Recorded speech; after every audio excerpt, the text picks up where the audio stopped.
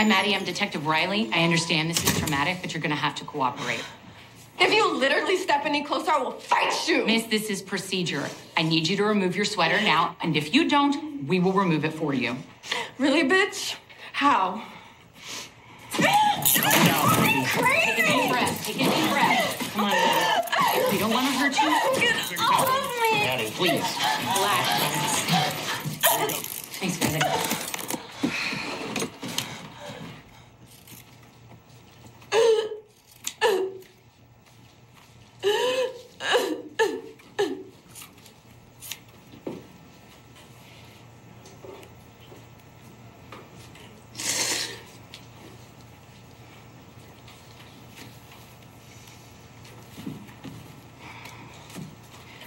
I know you're really upset right now, and you don't want to hear this.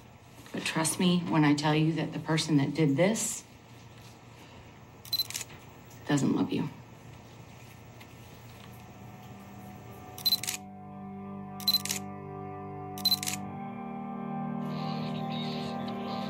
Mm-hmm. So you grabbed her. I grabbed her by the arm to drag her away. I didn't choke her. Thank you.